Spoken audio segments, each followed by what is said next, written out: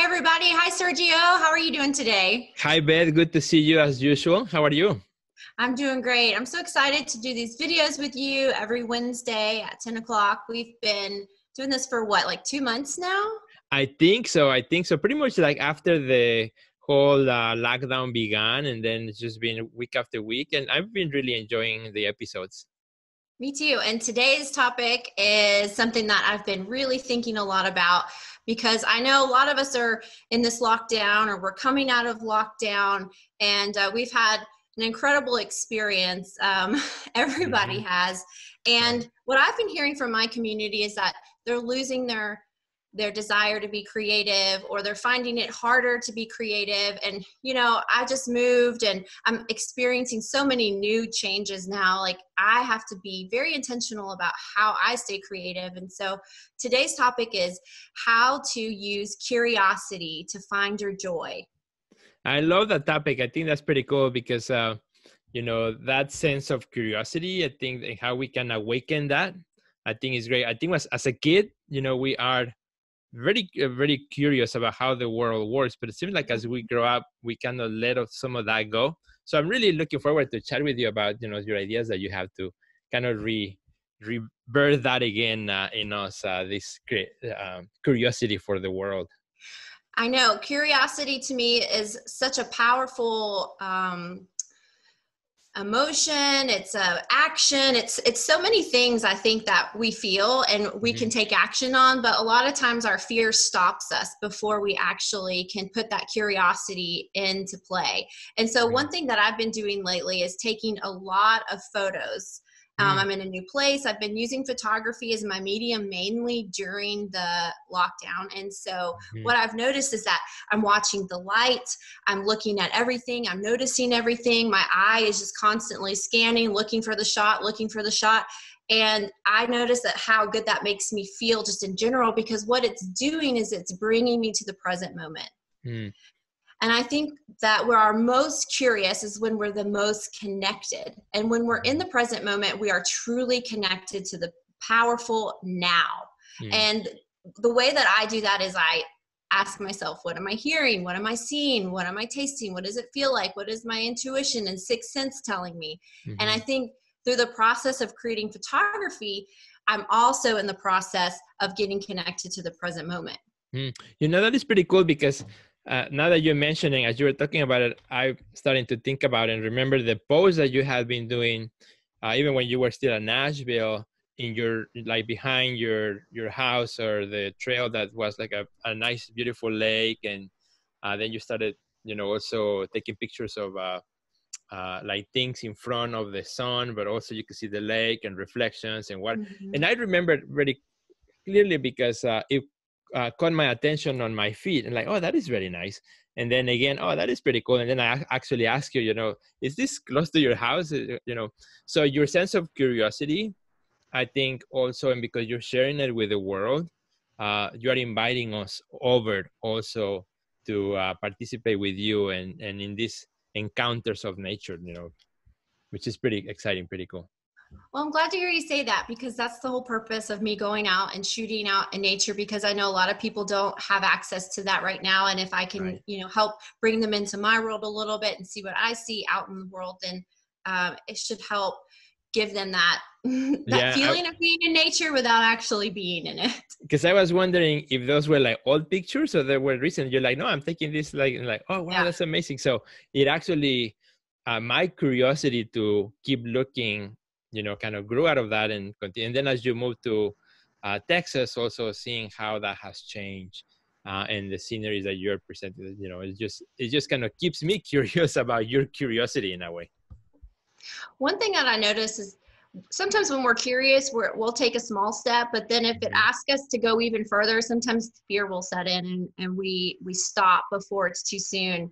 And yesterday I was out kayaking and I was approaching an area that of the river that I had never been before, that I wasn't sure if I should go, but I just decided to go for it because I was cool. curious and I wanted yeah. to see more of what was beyond what I could see. And there's this great quote, and I love it. It says, Go as far as you can see because when you get there, you'll be able to see further. And I think that oh, that, that cool.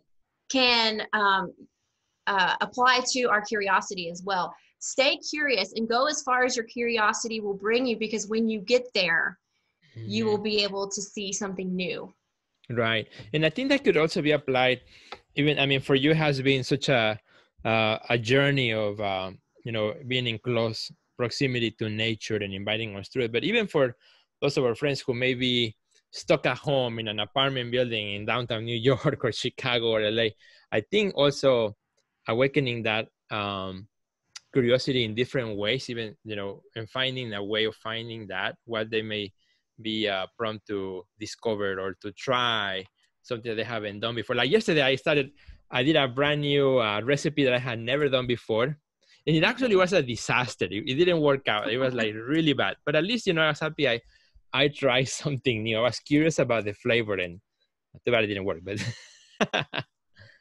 that's what it's all about you know trial yeah. and error figuring it out and um, and it keeps it continues to guide you so when you're curious and you have a pleasurable experience great go mm-hmm. further if you're curious and you don't have a pleasurable experience like your your food that didn't work out yeah. you know it's going to keep inviting you to go into another direction and the one thing that i love about when we are curious is that we start to have new ideas and i think mm-hmm. that this is the time to celebrate all of our ideas mm. that it's not a time to say no that's not good enough or i'm not ready or i'm not an expert yet mm-hmm. i think celebrating every single one of our ideas right now should be something that we do because if we keep putting ourselves down then we're never going to continue to reach out further than where we are and this is a place of rebirth i feel like mm-hmm. for so many people we've given an opportunity to say how do we want to live how do we want to you know approach life after this this big huge change for our world has occurred and this invites us to be curious about everything that we do in the future. And i think when we can celebrate that then we're going to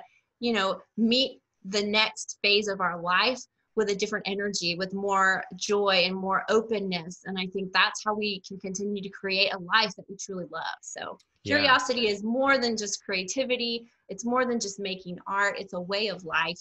And mm-hmm. that's the way i choose to live because I want to be open and I want to notice everything and wonder about everything because to right. me, that's where new ideas come in and that's sort of like gives me the my spirit like it helps my spirit come alive when right. i'm feeling like i'm exploring something brand new absolutely i love that and you know it's funny how like we began these conversations which in a way was kind of a curiosity on both of us like what are we doing we do something together and we have been talking about it and how do we do it through video? And uh, you know that was kind of birth, birth out of that curiosity of why don't we work together and do something? And then mm-hmm. the interestingly kind of happened and started at the beginning of the pandemic when we were way on the other side and now how you know as we connect every week and do these episodes kind of like slowly we are moving and working toward this and eventually we'll be on the other side and in a way kind of we're documenting that process but uh, um, you know your ideas have really made me more curious about the things that we are chatting out here in the episodes for sure. And i hope well, that our friends too.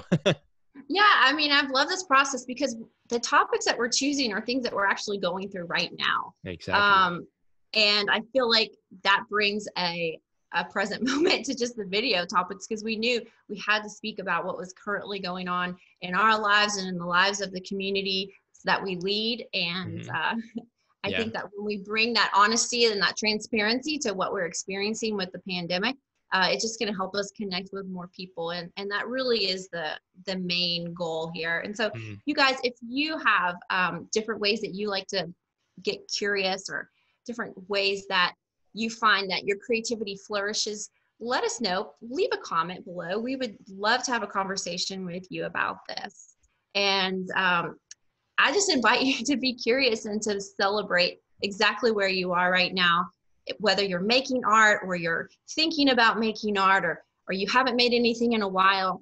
Take that judgment off of you and mm-hmm. just mm-hmm. lean into right. curiosity and see what can come of it.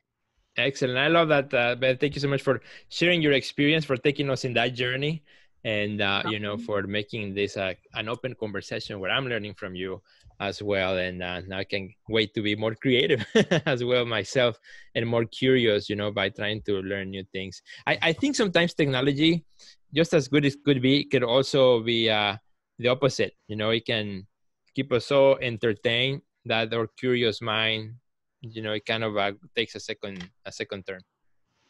Yeah, so that's a challenge. Go be curious. See what something new you can see, even if it's within the walls of where you live.